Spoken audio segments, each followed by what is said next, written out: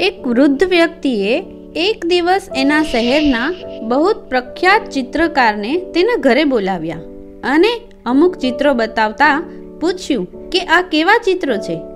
ચિત્રકારે કહ્યું, ઠીક છે, બહુ ખાસ નથી. એ પછી એ વૃદ્ધ વ્યક્તિએ બીજા ચિત્રો બતાવ્યા અને ફરી પૂછ્યું, આ ચિત્રો કેવા છે? તો તે ચિત્રો જોઈ અને એ ચિત્રકાર તો સ્તબ્ધ જ થઈ ગયો. થોડી વાર કશું બોલી જ ન શક્યો. ચિત્રો જ જોઈ રહ્યો. પછી વૃદ્ધને પૂછ્યું, આ ચિત્રો કોણે બનાવ્યા છે?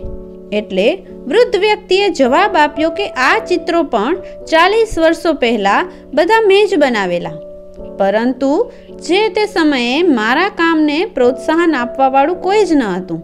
નહીતર આજે હું પણ તમારી જેમ દુનિયાનો નહીં તો કંઈ નહીં, પણ આપણા શહેરનો તો પ્રખ્યાત ચિત્રકાર હોત જ.